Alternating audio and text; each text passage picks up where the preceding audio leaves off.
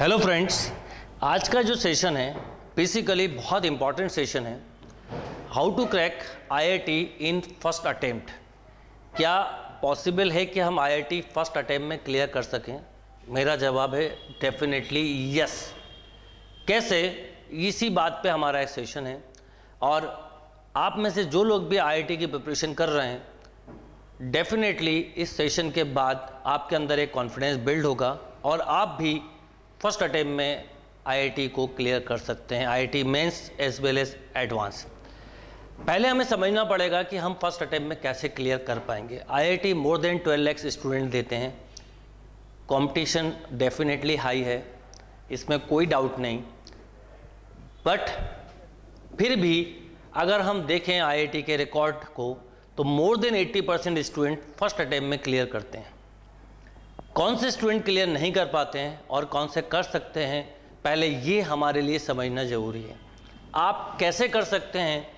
IIT की preparation कब से स्टार्ट करना बेटर ऑप्शन है, ये सबसे इंपॉर्टेंट क्वेश्चन होता है। अगर आप मुझसे पूछेंगे सबसे अच्छा टाइम कौन सा होता है तो मैं बोलूँगा क्लास नाइन्थ और क्लास टेंथ बेस्ट टाइम है। पर बाई चांस आप क्लास नाइन्थ और टेंथ क्रॉस कर गए eleventh then no problem twelfth में भी हैं तो नो प्रॉब्लम बट डिफरेंसेस क्या होगा, वो हमारे लिए जानना ज़रूरी है। क्योंकि एक बच्चा जो नाइन्थ से प्रिपरेशन कर रहा है, वो एक टेंथ से प्रिपरेशन कर रहा है, वो एक इलेवेंथ से प्रिपरेशन कर रहा है और एक ट्वेल्थ में स्टार्ट किया। ऑब्वियसली जो नाइन्थ क्लास वाला होगा, वो कुछ आगे होगा टेंथ वाला उससे कुछ पीछे होगा इलेवेंथ वाला उससे कुछ पीछे होगा ट्वेल्थ वाला उससे कुछ पीछे होगा। इस कंसेप्ट को हमें समझना पड़ेगा कि हमें कब से करना होगा। डेफिनेटली अगर कोई क्लास नाइन से स्टार्ट कर रहा है तो उसके ऊपर प्रेशर डेफिनेटली बहुत कम होगा। टेंथ से कर रहा है ऑब्वियसली उसके ऊपर भी प्रेशर कम होगा। इलेवन से कर रहा है, थोड़ा कंपेयर टू नाइन्थ टेंथ ज़्यादा होगा। बट ट्वेल्थ में है तो बहुत ज़्यादा प्रेशर होगा। बट उस प्रेशर को हमें हैंडल करना आना चाहिए। आईआईटी में सिलेक्ट कोई बच्चा क्यों होता और कोई क्यों नहीं होता, ये अगर कंसेप्ट क्लियर है हमारा तो कोई प्रॉब्लम नहीं है। मेरे पास बहुत सारे स्टूडेंट ऐसे आते हैं, जो मुझसे बोलते हैं कि, सर, मुझे ट्वेल्थ क्लास की स्टडी करनी है। आईआईटी की प्रिपरेशन तो मैंने कर ली इस कोचिंग से या इस कोचिंग से। मैं उनसे एक ही क्वेश्चन पूछता हूँ, क्या आईआईटी में सब्जेक्ट कुछ अलग होते हैं? हिस्ट्री मैथ्स होता है क्या? बोलते हैं, नहीं सर, वही जो इलेवन ट्वेल्थ का मैथ्स है। तो जब मैं फिर उनसे ये क्वेश्चन बोलता हूँ कि, जब वो इलेवन ट्वेल्थ का ही मैथ्स है तो आप आईआईटी का सिलेबस कर चुके हो इलेवन टेंथ में स्कोर नहीं बना सकते, ये कैसे पॉसिबल है? तो बोलते हैं, सर, वो इलेवन ट्वेल्थ के हिसाब से नहीं पढ़ा। झूठ बोलते हैं वो। जो स्टूडेंट ये बोलता है कि मैंने आईआईटी की प्रिपरेशन करी है, पर इलेवन ट्वेल्थ की नहीं करी, या इलेवन ट्वेल्थ की उस लेवल पे नहीं हुई तो कहीं ना कहीं वो गलत है। सबसे पहले हम समझें कि आईआईटी का रास्ता इलेवेंथ और इलेवेंथ एंड ट्वेल्थ के सिलेबस से जाता है। राइट इलेवेंथ और ट्वेल्थ के सिलेबस से जाता है। फिजिक्स, केमिस्ट्री, मैथ्स पढ़ना होता है। इन थ्री सब्जेक्ट में को डिफ्रेंशिएट करना भी आना चाहिए कि हम किस सब्जेक्ट पे किस ढंग से वेटेज दें। एक सबसे इंपॉर्टेंट बुक होती है N C E R T की। ये बुक केमिस्ट्री के लिए तो बहुत ही ज़्यादा इंपॉर्टेंट है। अगर मैं बात करूँ सब्जेक्ट केमिस्ट्री की तो मैं आपको बोलूँगा कि केमिस्ट्री आप एन की बुक से पढ़ें और प्रीवियस ईयर के आईआईटी के फाइव ईयर के पेपर सॉल्व कर लें। केमिस्ट्री के लिए सफिशेंट है। फिजिक्स के लिए मैं बोलूँगा तो थ्योरी पे स्ट्रॉन्ग कमांड होना चाहिए। थ्योरी प्लस प्रैक्टिस पर थ्योरी का 60 टू 70 परसेंट प्रैक्टिस वाला पार्ट है 30 टू 40 परसेंट फिजिक्स में बहुत लोग ऐसी गड़बड़ करते हैं कि न्यूमेरिकल पे ज़्यादा फोकस करते हैं। थ्योरी पे कंसेप्ट बनाए बिना ये एक रॉन्ग ट्रैक हो सकता है। ऐसे ही हम बात करें मैथ्स की। मैथ्स का बिल्कुल ही पैटर्न डिफरेंट है। पहले एन की बुक सॉल्व करें।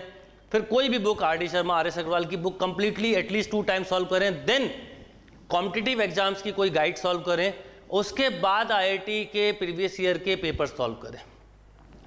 अगर आपके पैटर्न का, आपका पढ़ने की स्टडी का पैटर्न सही है तो आप फ़र्स्ट अटेम्प्ट में क्लियर कर सकते हैं। अब बात आती है कि हम कहाँ लैक करते हैं। अगर हमारे इलेवेंथ ट्वेल्थ के कंसेप्ट स्ट्रांग नहीं हैं तो हम कहीं ना कहीं लैक कर रहे हैं। कई बच्चे मैंने, जैसे नाइन्थ टेंथ के कुछ बच्चों की कभी कभी क्लास लेता हूँ, कुछ बच्चे इतना अच्छा परफॉर्म करते हैं कि क्लास नाइन्थ या टेंथ में ही, जैसे मैं एन की कुछ क्लास लेता हूँ इलेवन ट्वेल्थ का भी सिलेबस आता है। ऐसे बच्चे तो ऑब्वियसली पहले अटैम्प में सिलेक्ट होंगे। अब कोई ने यहाँ तक सोचा ही नहीं है, यहाँ पर आके आप प्लान कर रहे हो, कोई दिक्कत नहीं है इलेवेंथ में कोई दिक्कत नहीं ट्वेल्थ में भी कोई प्रॉब्लम नहीं। बट आपको इनको, अगर इनसे आगे निकलना है तो ये टू आर स्टडी करते हैं, ये मान लीजिए थ्री आर करते हैं या फोर आर करते हैं तो आपको ऑब्वियसली सिक्स आर करने होंगे। क्योंकि जब तक आप उस लेवल पे पढ़ाई नहीं करेंगे जो आईआईटी सिलेक्शन के लिए रिक्वायर्ड है, जब तक आईआईटी में सिलेक्शन नहीं हो सकता। तो हम ये बात समझें। सेकंड कोई भी टॉपिक पढ़ें, आप सिलेक्शन कैसे होगा उस पर बात करें। कोई भी टॉपिक पढ़ें, जैसे सपोज़ आपने मैथ्स में बाइनिमल थ्योरम पढ़ा। ठीक है, एक एग्जांपल मैथ्स से लेते हैं, क्योंकि मैं मेरा सब्जेक्ट मैथ्स है तो मैं आपको ज़्यादा अच्छे से समझा पाऊँगा। पर जो बात मैं मैथ्स के लिए बोल रहा हूँ फिजिक्स के लिए भी एप्लीकेबल है केमिस्ट्री के लिए भी। सपोज़ आपने बाइनिमल थ्योरम पढ़ा। सबसे पहले बाइनिमल थ्योरम पढ़ा तो हमने पहले पूरा थ्योरी पार्ट कवर किया। अब बाइनिमल थ्योरम क्लास 11 का चैप्टर है, बहुत ही कम पोर्शन दिया हुआ है। कॉम्पिटेटिव एग्ज़ाम के हिसाब से बहुत है। पहले मैंने एन से बाइनिमल किया, फिर मैंने कोई भी एक बुक लिया R D Sharma R S Agarwal हरियन कोई भी एक बुक ली। उससे पूरा बाइनिमल थ्योरम कवर किया। मैंने आईआईटी मेंस के क्वेश्चन किए। एडवांस नहीं, पहले मेंस के क्वेश्चन किए। क्या सॉल्व हो रहे हैं? अगर हो रहे हैं तो मैंने ठीक तरीके से पढ़ाई किए नहीं हो रहे हैं मतलब मुझे कहीं ना कहीं अभी भी थेरी में प्रॉब्लम है। राइट वापस मैं बाइनिमल थ्योरम के प्रैक्टिस क्वेश्चन की प्रैक्टिस करूँगा। फिर मैं देखूँगा कि मुझसे बाइनिमल थ्योरम के क्वेश्चंस हो रहे हैं कि नहीं। पहले एक एक टॉपिक पे फोकस करते हुए चले। हो रहे हैं मेन सॉल्व हो गया। फिर देखिए कि एडवांस में किस लेवल पे क्वेश्चन पूछें। और याद रखिएगा मेंस और एडवांस की प्रिपरेशन एक साथ करनी है, बाद में नहीं। आईआईटी के एग्ज़ाम के बाद मेंस और एडवांस में बहुत ज़्यादा टाइम में डिफरेंस नहीं होता है। तो अगर हमने पहले से ही एडवांस की प्रिपरेशन नहीं करी तो हम एडवांस नहीं निकाल पाएँगे मेंस तो निकाल सकते हैं। दूसरा, अपने आप को खुद को इवेल्यूट करना है कि हम किस स्केल पे हैं। अगर मुझसे इलेवेंथ ट्वेल्थ का मैथ्स ही कम्प्लीटली सॉल्व नहीं हो रहा है तो मैं बोलूँगा कि ये मत सोचिए कि मैंने मैथ्स लिए इसलिए आईआईटी निकालना है। ये भी बहुत कॉमन प्रॉब्लम है कि जो बच्चा मैथ्स लेता है, उसे लगता है आईआईटी निकालना है, जो बायो लेता है, उसको लगता है मुझे मेडिकल निकालना है। पर ये ट्रू नहीं है। बहुत सारी अपॉर्चुनिटी हैं, बहुत सारे ऑप्शन होते हैं। हम अकॉर्डिंग टू मतलब सबसे इंपॉर्टेंट है कि हम अपने आप को समझें कि हम किस लेवल पे परफॉर्म कर रहे हैं। अगर मुझे ऐसा लगता है कि मैं ट्वेल्थ में 90 परसेंट के हिसाब से पढ़ाई नहीं कर रहा हूँ तो मैं अभी आई आई सब छोड़ दूँगा। पहले मेरा फोकस होगा कि मुझे ट्वेल्थ में 95 परसेंट बनाने। क्योंकि अगर मैं ट्वेल्थ में 95 परसेंट बना रहा हूँ इस मीन्स कि मेरे कंसेप्ट स्ट्रांग है और वही कंसेप्ट से तो मैं आई निकाल सकता हूँ। ऐसे कैसे हो सकता है कि ट्वेल्थ में मैं 60 परसेंट के लायक भी नहीं हूँ और मैं आईआईटी की पढ़ाई कर रहा हूँ? पॉसिबल नहीं है। तो सबसे पहले अपना जजमेंट बिल्कुल सही करिए। तो आप ये भी देखिए कि आप आईआईटी में मेंस के हिसाब से प्रिपरेशन कर रहे हैं एडवांस के हिसाब से कर रहे हैं, या दोनों के हिसाब से कर रहे हैं? Right right? अब उसका तरीका मैंने आपको बताया। आप किसी भी टॉपिक को कंप्लीट करिए। देखिए, मेंस के क्वेश्चन ही अगर अच्छे से नहीं बन पा रहे हैं एडवांस में मत जाइए। कोई बात नहीं। एन के थ्रू भी बहुत अच्छे अच्छे कॉलेज मिलते हैं। एनआईटी त्रिची वारंगल सूरतकल जिसमें कि बहुत अच्छे प्लेसमेंट होते हैं। कोई इसमें प्रॉब्लम नहीं है। आप मेंस के क्वेश्चन नहीं कर पा रहे हैं, एडवांस के कर रहे हैं, कोई फ़ायदा ही नहीं। अगर, क्योंकि वे क्या है, मेंस जब तक क्लियर नहीं होगा, हम एडवांस में जा ही नहीं सकते। इसका कट ऑफ़ के बिना हम आगे नहीं बढ़ सकते। तो बेटर ये है ना, कि हम पहले अपने आप को मेंस के लिए हंड्रेड परसेंट समझें। तो आप किसी टॉपिक को करते हैं। सपोज़ आपने कैलकुलस स्टार्ट किया। कैलकुलस कहाँ से स्टार्ट किया? फ़ंक्शन से। तो फ़ंक्शन करा। Limit continuity differentiability differentiation application of derivative indefinite integral definite integral differential equation एक लाइन से। पहले थेरी फिर then come subjective book subjective book को टू टाइम सॉल्व करने के बाद आईआईटी मेंस के क्वेश्चन फिर देखा कितने नहीं बन पाए। देन उन क्वेश्चंस को समझा कि क्यों नहीं बने, क्या चीज़ थी जो हम नहीं कर पाए कवर क्योंकि इलेवेंथ ट्वेल्थ की बुक में आईआईटी वाला कई पोर्शन नहीं मिलता तो उसके लिए आपको एडिशनल कोई भी बुक लगेगी। वो ले सकते हैं। जब आप आईआईटी मेंस के पेपर को कंफर्टेबली सॉल्व कर पा रहे हों देन फिर एडवांस पे जाए। अब एडवांस के जब आप पेपर सॉल्व कर रहे हैं, फिर आप अपने आप को एडवांस के लिए डेवलप करें। ऑब्वियसली जब नाम भी एडवांस है तो क्वेश्चन का लेवल भी स्मार्ट स्मार्ट होता है। एडवांस लेवल के क्वेश्चन होते हैं। दूसरा, हम जो पेपर सॉल्व कर रहे हैं, उसमें टाइम मैनेजमेंट भी बहुत इंपॉर्टेंट है कि पर क्वेश्चन कितना टाइम लग रहा है। हम मेंस के क्वेश्चन तो सॉल्व कर रहे हैं। पर ज़्यादा टाइम ले रहे हैं, वो भी हमारे लिए निगेटिव हो सकता है। बिल्कुल ऐसे ही फिजिक्स और केमिस्ट्री में भी करना है। केमिस्ट्री थोड़ा सा याद तो करना ही पड़ेगी, अगर याद नहीं करेंगे तो कोशिश नहीं कर पाएँगे। पर केमिस्ट्री आपके लिए स्कोरिंग होता है टाइम सेविंग होता है और एन e की बुक केमिस्ट्री के लिए तो बहुत ही अच्छी बुक है। वैसे तो तीनों के लिए फिजिक्स केमिस्ट्री मैथ्स तीनों में हमको एन e की बुक सॉल्व करनी है। बट स्पेशली केमिस्ट्री में तो हमें करना ही है। इस बुक को इवन एन e की बुक इतनी अच्छी कि कोई स्टूडेंट अगर यूपीएससी की प्रिपरेशन कर रहा है, वहाँ तक अगर किसी ने एन e की बुक से अच्छे से प्रिपरेशन किए, बहुत हेल्प करती है। तो आपको इस बुक को सॉल्व करना ही है। केमिस्ट्री में आपके एफर्ट्स अच्छा रेशो क्या होना चाहिए तो मैं हमेशा बोलूँगा three is two two is two one physics maths physics and chemistry इसका मतलब क्या है? सपोज़ मैं per day six hour study कर रहा हूँ तो थ्री आवर्स मैथ्स को दूँगा टू आवर फिजिक्स को दूँगा वन आवर केमिस्ट्री को। कई बार थोड़ा बहुत प्लस माइनस हो सकता है, पर मैथ्स क्योंकि प्रैक्टिस माँगता है तो मैथ्स में आपको ज़्यादा टाइम देना होगा। फिजिक्स कंसेप्चुअल सब्जेक्ट है टोटल कंसेप्ट बनाने वाला टॉपिक है तो आपको फिजिक्स में थोड़ा कम, पर फिर भी मैथ्स के आसपास ही टाइम देना होगा। केमिस्ट्री में आप थोड़ा कम टाइम देंगे तो भी चलेगा। दूसरा, जो भी चीज़ें पढ़ते जाते हैं, उसके एक शॉर्ट नोट्स बनाते चलें, बाद में रिवीजन के काम आता है। कई चीज़ें हम अब इसको याद कैसे रखें? ये बहुत इंपॉर्टेंट चीज़ है कि हम इसे लॉन्ग टर्म याद कैसे रखें। तो जब भी आप स्टडी करें तो एक छोटी सी टेक्निक ज़रूर याद रखिएगा। स्टडी करने के बाद वन आवर टू आवर के बाद टू थ्री मिनट अपने आप को दीजिए फाइव मिनट दीजिए। जैसे कंप्यूटर में हम कोई वर्क करते हैं और जब उसे हम सेव करते हैं तो एक डमरू घूमता है। वैसे हमें दिमाग का भी डमरू घुमाना है। दो घंटे पढ़ाई करी, थोड़ी देर रुके, सोचा क्या पढ़ा है, उसको रिवाइज़ किया। राइट फिर पढ़ाई की, फिर रिवाइज़ किया। जैसे ही ब्रेक लेते हैं ब्रेक के बाद तुरंत ना तो मोबाइल फ़ोन यूज़ करना, ना किसी से बात करना, पहले उसको स्टोर करना है। रात को सोने से पहले जितनी चीज़ें आपने पढ़ी, एक ब्लैंक पेपर पे लिख सकें तो बहुत ही अच्छा है। और नहीं तो लेट के जो दिन भर में पढ़ा है, वो रिवाइज़ करिए। अगले दिन जब सुबह उठते हैं ब्रश करते समय रात को जो पढ़ा है, वो याद रखिए, क्योंकि ब्रेन का काम 24 फोर आवर का होता है, हम ब्रेन को काम दें। तो अब बात आती है कि जब आईआईटी निकालना है तो हमारा इलेवेंथ ट्वेल्थ के सिलेबस पे बहुत स्ट्रॉन्ग कमांड होना चाहिए।